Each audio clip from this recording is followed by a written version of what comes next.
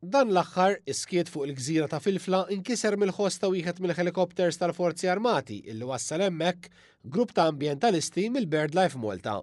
L-Armata ilha mill-1982 iżżomm l-appuntament tagħha mal-BirdLife u darbtejn fis-sena tniżżilhom fuq Filfla fejn tbejjet il-gawija prima.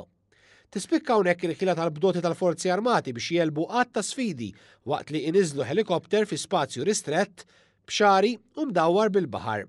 Madanakollu dan huwa l-uniku mod kif il-voluntiera jistgħu jilħqu l-quċċata tal-gżira u jkomplu għaddejjin bi proġett ta' riċerka fuq il-popolazzjoni tal-gawwija prima.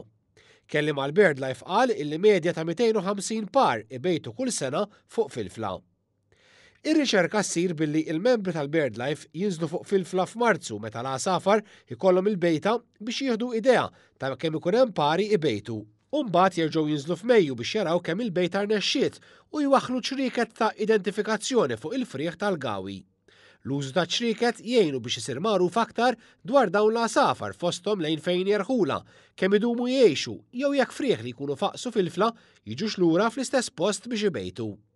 Ir-riċerka fuq il-Gawija Prima tikkumplementa riċerka oħra li qed issir fil-Fla, bħala parti mill-proġett Life iffinanzjat mill-Unjoni Ewropea u li jiffoka fuq it-tajr tal-baħar, il-BirdLife qed tagħmel studju wkoll fuq il-kanġu ta' filfla.